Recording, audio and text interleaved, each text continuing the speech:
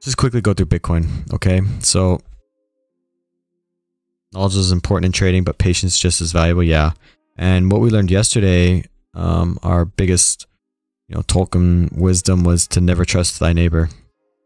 And that's why most people fail, right? That is what the quote was. Most people fail because of trusting their neighbor or their friends. Anyway, so let's take a quick look at Bitcoin. So I think we we you know, yesterday when we looked at Bitcoin, we timed it pretty well. We said, you know, we're going to come down, make a higher low first before we make a lower low. So this was a good long in this area. And we talked about making, um, being more into longs because we have already had all this downside. Um, you know, we could have seen some downside, but we were going to see some maybe upside first, come up and make a lower high.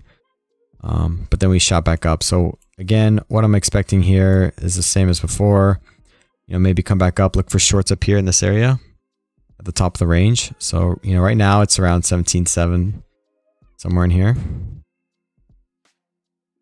Yeah, somewhere in here, come back up 17.7, 17.8. By the time we get up here, I mean, it could be a bit. It could be 17.8, 3 at this point. Um, yeah, so that's where I'd be looking for shorts right now. On the short, short, short term, this looks very bullish, right? This is a nice asymmetrical, not asymmetrical, um, ascending triangle here at a resistance, right? So what we're doing at this at this level right here is we're pretty much knocking down the wall, right? We're filling in all the orders at this uh, resistance until there's nothing left. Maybe come down again, make a higher low, and then break it finally up to the upside. Right? So if you did get into a long, you know, where would you be looking at taking profits at? Well, see here. There's really not much. We do have some sideways action over here though, right? So somewhere in here, the 17.3 is probably gonna be the next stop, and then yeah, there's probably some volume up here in 17.3, 17.4, 17.6. Yeah, I would say something like that. Um, at the very top's 18k, which I mean that's gonna be really tough to break, but that's quite a ways up there. I would still be looking for the top of this range. I would be putting shorts in up here. This is where you want to be targeting your shorts.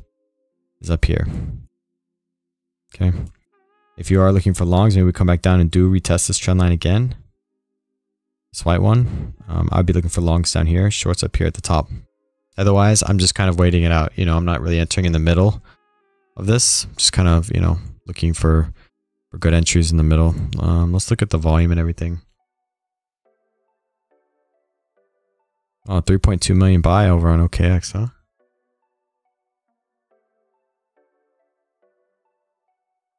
I mean, we're looking very bullish right now. So, as you can see, our JBot, our little J, I mean, JBots are kind of hanging out right now, being quiet, uh, waiting for something. I'll install that. Yep, here we are. But the maybe retesting the resistance again, maybe break up to the upside. We'll see what happens. But you can see here, you know, our little J's have been spot on, right? These whites are longs. And we had another long. Actually, looks like last night. Right over here. These J-bots are clutch, huh? Long live J-bots. Wow, look at these whales, huh? Look at that. Retail had no belief in this. Retail weren't buying this shit at all, huh? It's amazing, huh? So if you look at this, uh, let me separate them for you guys so you guys can see this.